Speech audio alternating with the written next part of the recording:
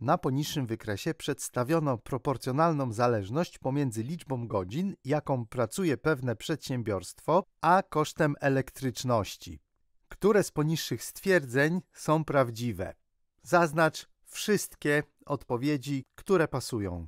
Zatrzymajcie teraz film i spróbujcie samodzielnie odpowiedzieć na to pytanie. No to po kolei. Przyjrzyjmy się na początku wykresowi. Taki wykres to zależność wprost proporcjonalna.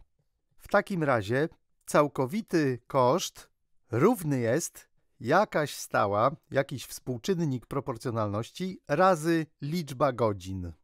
I na podstawie tego wykresu możemy wyznaczyć wartość współczynnika proporcjonalności, wykorzystując do tego na przykład współrzędne punktu A.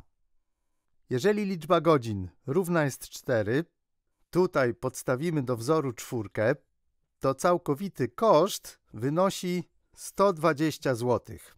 Podstawiając do wzoru, tutaj mamy 120. Jaka liczba razy 4 równa się 120?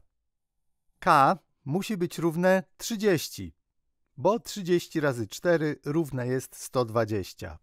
I możemy zapisać równanie albo wzór tej zależności, zależności wprost proporcjonalnej.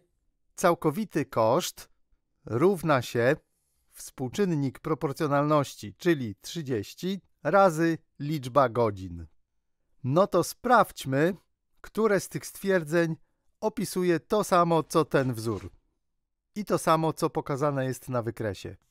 Pierwsza odpowiedź. Współrzędna y punktu A przedstawia całkowity koszt elektryczności, gdy przedsiębiorstwo pracuje przez 4 godziny. Punkt A ma współrzędne 4 i 120, czyli współrzędna y punktu A to 120. I 120 to całkowity koszt elektryczności, kiedy liczba godzin pracy wynosi 4. I pierwsza odpowiedź mówi dokładnie to samo. Współrzędna y punktu A przedstawia całkowity koszt elektryczności, gdy przedsiębiorstwo pracuje przez 4 godziny.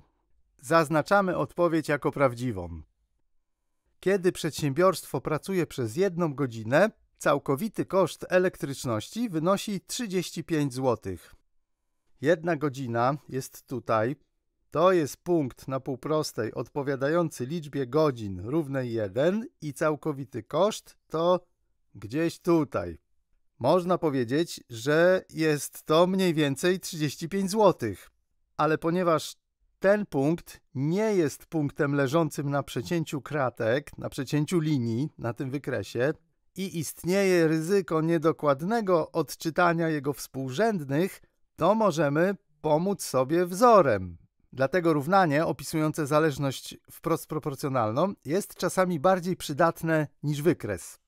Całkowity koszt równa się 30 razy liczba godzin. 30 razy 1 to 30, a nie 35. Współrzędna y tego punktu to 30, a nie 35. 30 leży równo w środku między 20 i 40. 35 leżałoby trochę wyżej, bliżej 40 niż 20. W takim razie ta odpowiedź nie jest prawdziwa. No i nie zaznaczamy żadna z powyższych odpowiedzi, bo już zaznaczyliśmy jedną z powyższych odpowiedzi. No i zadanie rozwiązane.